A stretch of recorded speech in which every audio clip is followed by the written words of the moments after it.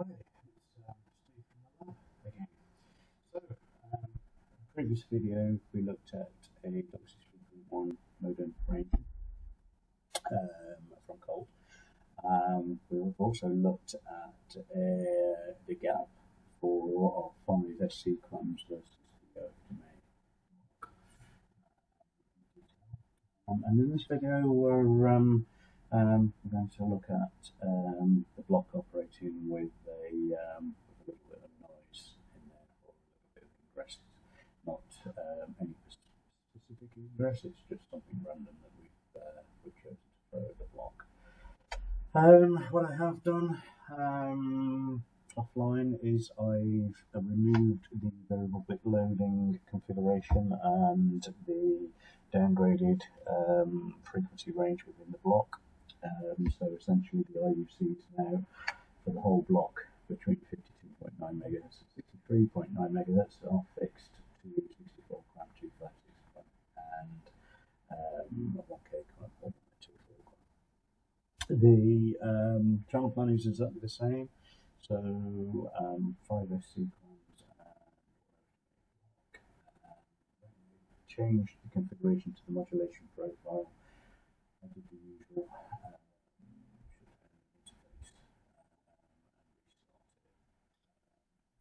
reason offline that resulted in the um,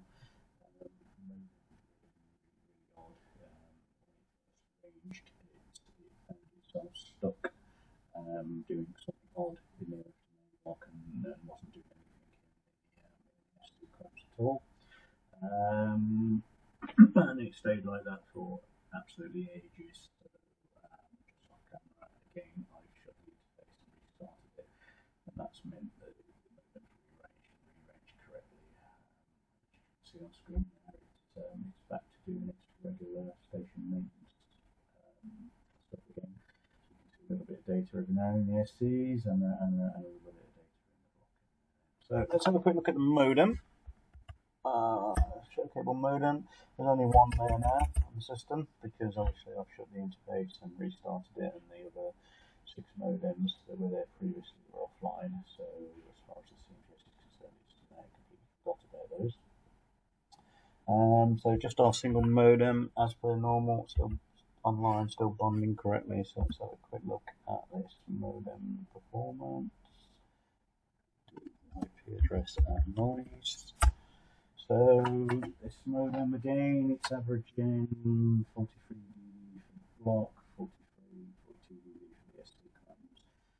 Um, it was about 41, 42 previously the previous video. Um, but as I say, I've just restarted the interface and not, not actually running traffic over this modem yet. Um, corrected code words, you can see it's zero across the board, and uncorrected code words again is zero across all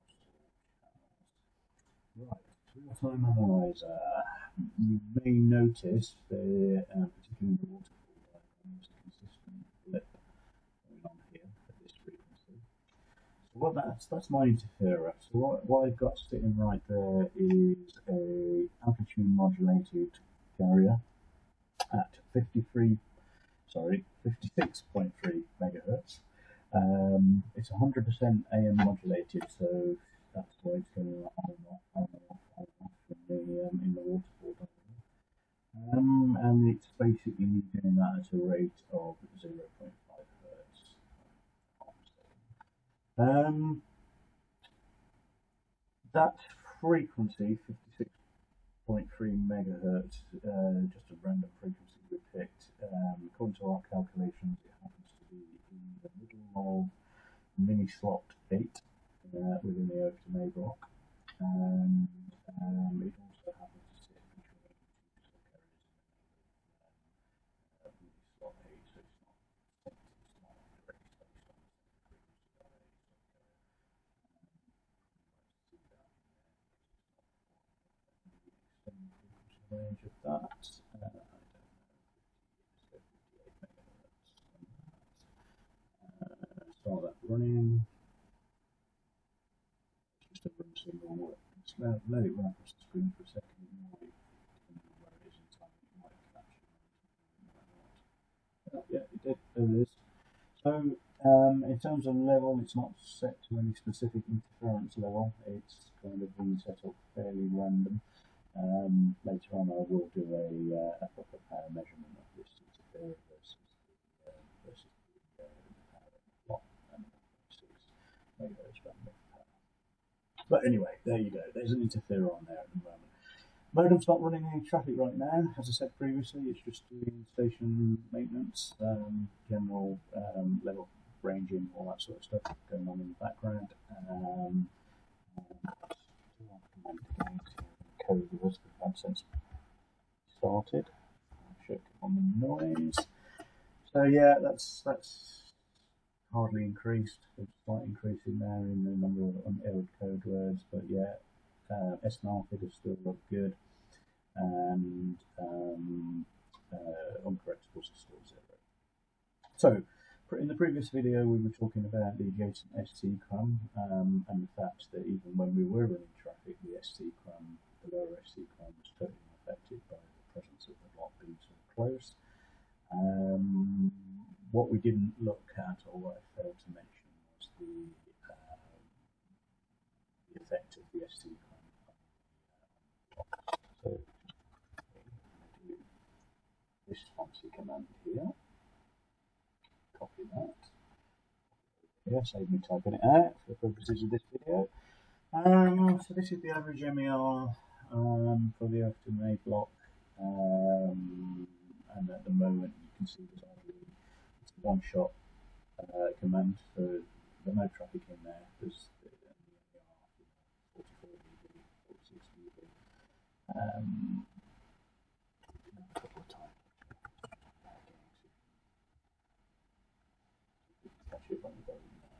So not much going on in there at the moment. As I say, mini slot eight is where um, where our interferer sits. So it would be um, it would be in this mini slot here. But as I say, it's adjacent very narrow and it's only modulated.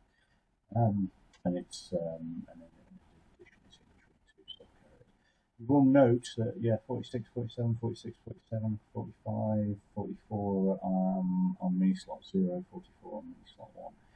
Um, these two are down a little bit, and they will be firmly down a little bit. It's, that is really to do with the adjacent SC. Um, and in a moment, um, when I run some traffic, you'll see um, those will be, uh, those first two will be considerably lower than the, uh, than the remaining ones that are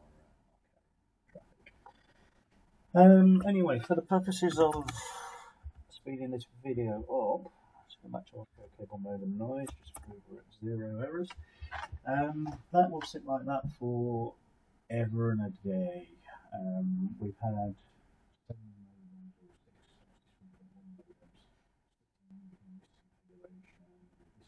noise with this AM interferer sitting here overnight um, um,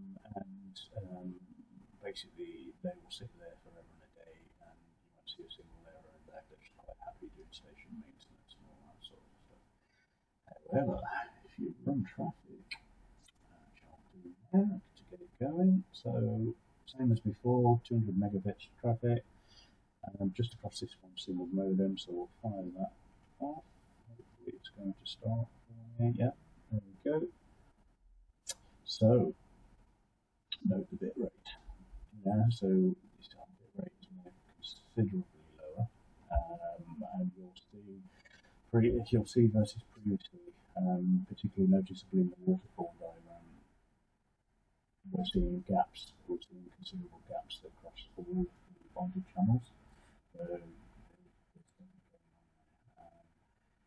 look very, very closely, you can still see the um, modulated interferer in, in slot 8 there and it also kind of ties the, uh, the gaps in this modem in the transmission. So um, what's going to happen is the um, uh, CMTS is going to try and adapt the um, um, uh, performance of the modem, um, and you can see here the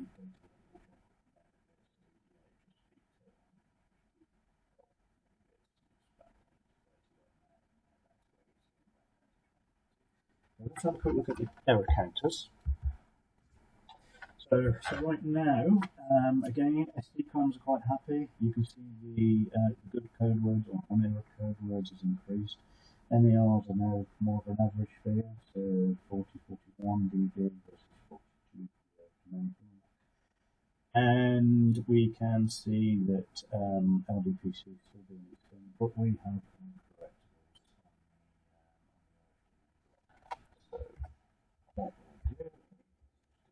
times yet uncorrectables. Um, and you can see things are happening up here. So even though that transmission is still going on, um, hopefully, hopefully my crash down there, which is still going on. But yeah, let's go and have a look at the MER, average MER. There you go. So all um, 16 mini slots in this block now in use. So you can see they've all got a figure said previously, you can see the first two minutes um, now have a reduced average MER, these two here. So 32 dB, 37 dB. Um, that's not due to my interferer. That's due to um, that's due to the um, the adjacent SD card um, loaded. Yeah, so it's dragging down in um, uh, uh, roll off whatever you the remaining mini slots in the block, uh, where are we going up to about here? They are all um, 41, 42, 44 dB.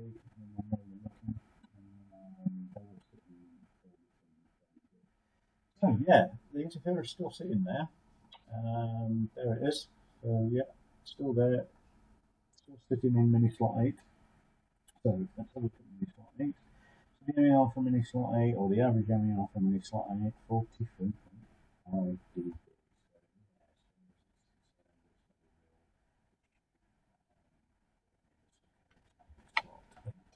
But there is errors, um, and there is, um, let's go back to the modem, there is uncorrectables there, and they are counted.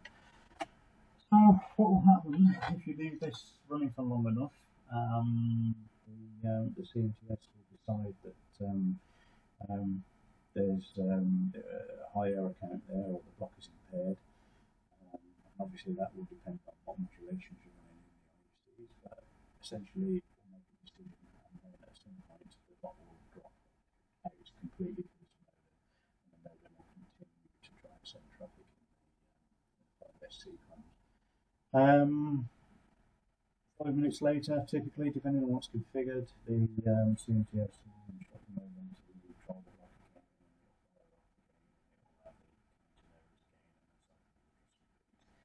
and you can see that in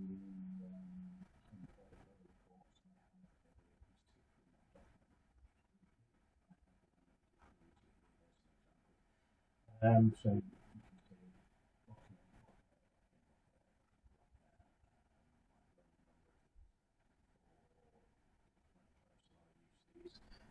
impairments, but yeah, there's, there's dropping out.